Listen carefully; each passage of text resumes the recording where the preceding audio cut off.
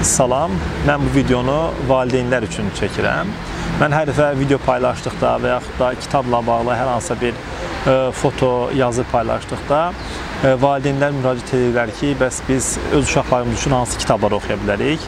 E, az yaşlı övladlarımıza e, məsləhət gördüyünüz kitablar hansılardır? Mən də düşündüm ki, qarşıma maraqlı kitablar, faydalı kitablar çıxdıqca onları məsləhət görüm. E, təbii ki, söhbət e, məktəb yaşına qədər ki və eyni zamanda məktəb dövründə ibtidai sinifdə oxuyan uşaqlardan gedir. Hansı ki, onların hələ özlərinin kitab oxumağa imkanları yoxdur.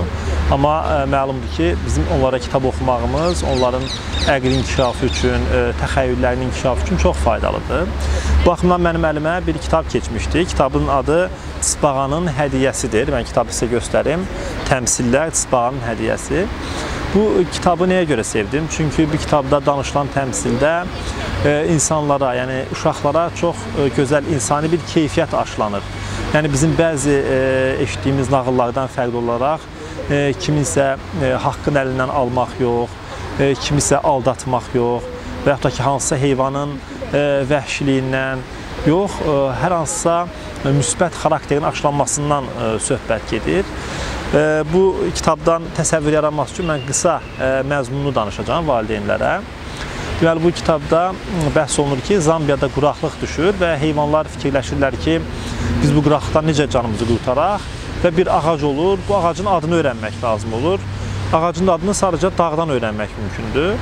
E, ilk öncə şir gedir dağın yanına müraciət etməyə, gedir və ağacın adını öyrənir. Geri qaydanda özündən çox razı olur, sevinir, təkəbbürlənir e, və yolda başlayır yüksəkdən nərildəməyə, amma ağacın adını unudur. Kör peşman geri qayıdır, sonra fil gedir, fil də eyni formada yolda başı qarışır, ağacın adını unudur. Ardınca şimpanzelər gedirlər, onlar da yolda oynayırlar, ağacın adını unudurlar və ən sonda növbə gəlir tısbağaya. Heç kəs tısbağaya inanmır, o balacadır, çox asta-asta gedir və ona inanmırlar. Amma tısbağa deyir, yox, mən öyrənəcəm və mən indi həmin hissəni isə oxuyacağam. Tısbağa yola düşür və gedib dağa çatır, dağdan ağacın adını soruşur. Nəhayət gəlib başı buludlara dəyən qocaman dağın ətəyinə çatdı. Nəfəsini dərib yuxarı baxdı. Bağışla məni, ey dağ, deyə bilərsənmi? Meşənin düz ortasındakı əsrarəngiz ağacın adı nədir? Tısbağa soruşdu. Hə, bir də onu deyim ki, kitab çox ə, maraqlı, yəni çox gözəl illüstrasiyalarla bəzənilib, fotolarla bəzənilib, e, rəssam tərəfindən çəkilib e, və xüsusən də az yaşlı uşaqlara belə rəngarəng, şəkilli kitabların oxunması daha məsləhətdir. Yəni sırf yazıdan ibarət olan kitab uşaq üçün maraqsız gələ bilər. Dağ ağır-ağır dilləndi. Avongalema. Yəni heyvanların adını unutmasının səbəbi də adının biraz qəliz olmasıdır. Avongalema.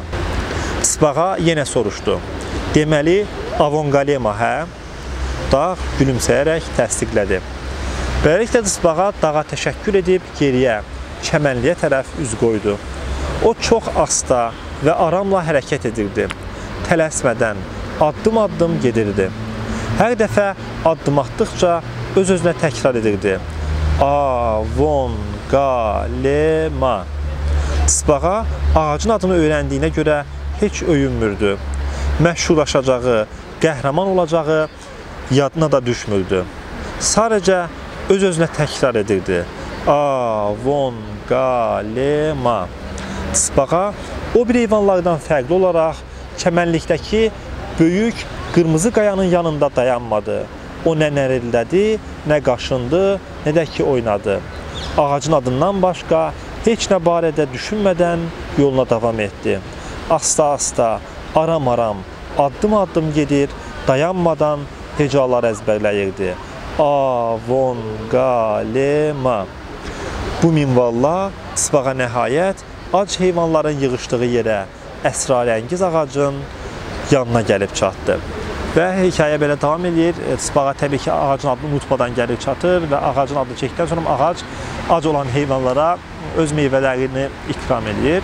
E, kitabın verdiyi digər müsbət mesaj ondan ibarətdir ki, bizə hər hansısa bir e, vəzifə verilibsə, o vəzifəni sona qədər yerinə çatdırmalıyıq və həmin işdə məsuliyyətli olmalıyıq.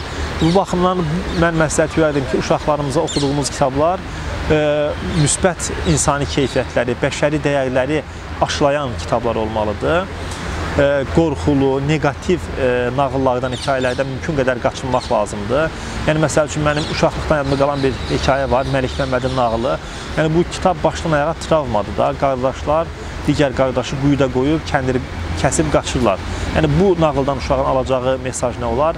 Bir də bayaq haqqında danışdığımız Sısbağanın hədiyyəsi təmsilindən aldığı mesaj nə olar? Bu baxımdan valideynlərə bu kitabı tövsiyə edə bilirəm və övladlarımıza çoxlu kitab oxumağı məsləhət görürəm.